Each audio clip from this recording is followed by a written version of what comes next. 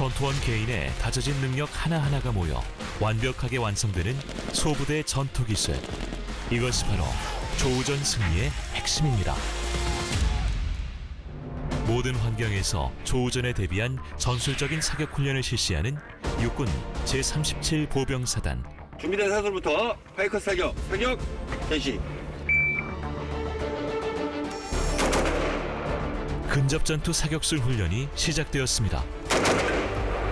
격실 진입 전에 아군의 생존성 보정을 위해서 외부에서부터 그 내부에 보이는 위협을 최대한 제거하고 격실을 안전하게 그 진입하는 훈련입니다.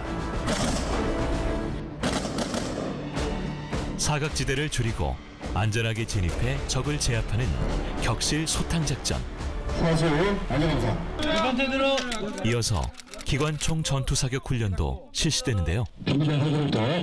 기관총 사격 맞춰 사격 개시 고정 자세가 아닌 자세 변환 사격 훈련으로 실시됩니다.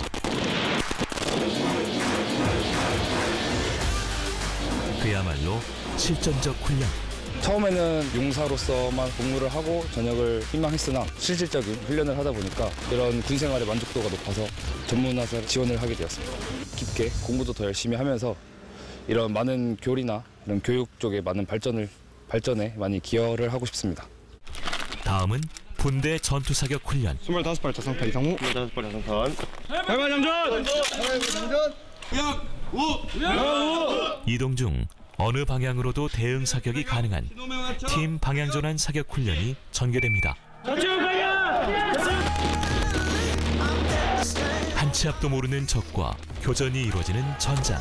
30m 선발 정영명 팀장인 소대장, 부소대장 통제하에 이동간 사격수를 수달하게 되는데 이동간 사격수는 전방 이동에서부터 우회, 이탈, 도착 등의 그런 전투 행동을 할 수 있도록 하는 게 이 훈련의 핵심이 되겠습니다.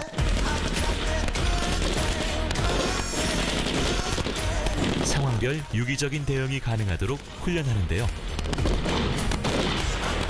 어머 사격이 이루어지는 사이 개인 간 기동을 통해 우회 및 측면 공격으로 적을 경멸합니다.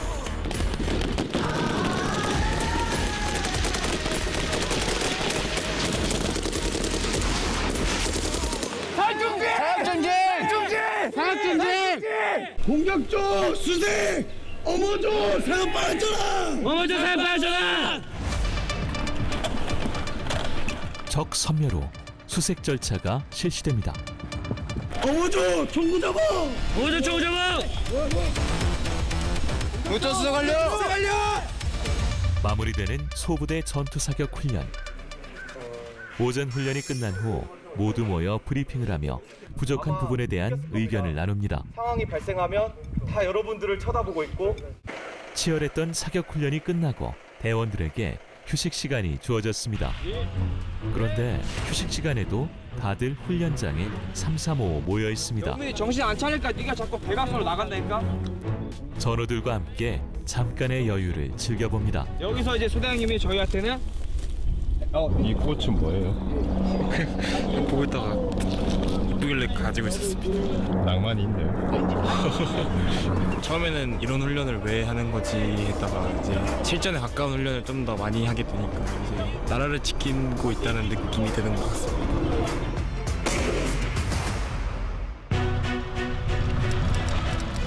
이제 실전적 전술 종합 훈련이 전개되는데요. 과연 잘해낼 수 있을까? 팀원들이 한껏 긴장합니다. 아군 작전 지역 내의 중요 시설 인근에서 적 특적 부대가 활동 중이라는 상급 부대 첩보 접수, 도병 수색 정찰 실시하기 바라.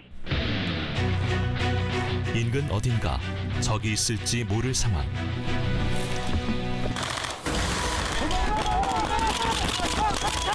적과 조우전이 시작되었습니다.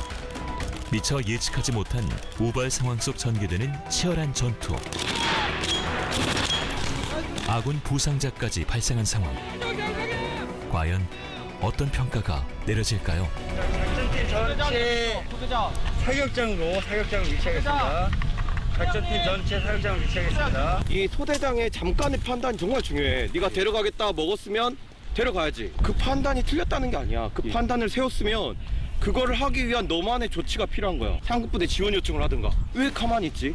그 쏘는 위치가 내가 쏠 수 없는 위치라면 빨리 위치를 변환시켜줘야 됩니다. 환자를 후송하는 사람에 대한 경계를 제공해줘야 됩니다. 여기 계신 모든 분들이 환자 후송 인원한테 데리고 오라고 소리만 치고 있습니다. 누구도 접근하지 않아. 누구도 사격이 가능한 위치로 가지는 않습니다, 지금. 상황 타결을 하기 위한 대응을 어떻게 유지를 할 건지에 대해서 고민하십니다. 아시죠?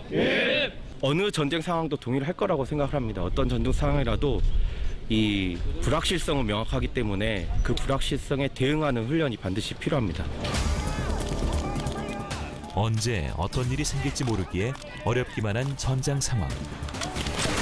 사격과 기동, 의사소통 등 기본기가 얼마나 중요한지 소부대 전투의 핵심을 훈련으로 알아갑니다. 치열한 교전 속 재정비가 필요한 상황. 아, 진호 과장!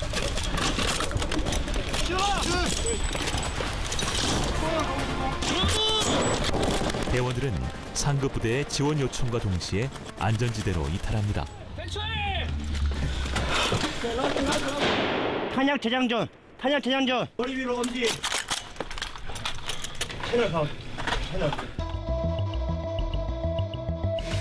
그 사이 증원 부대가 도착했습니다.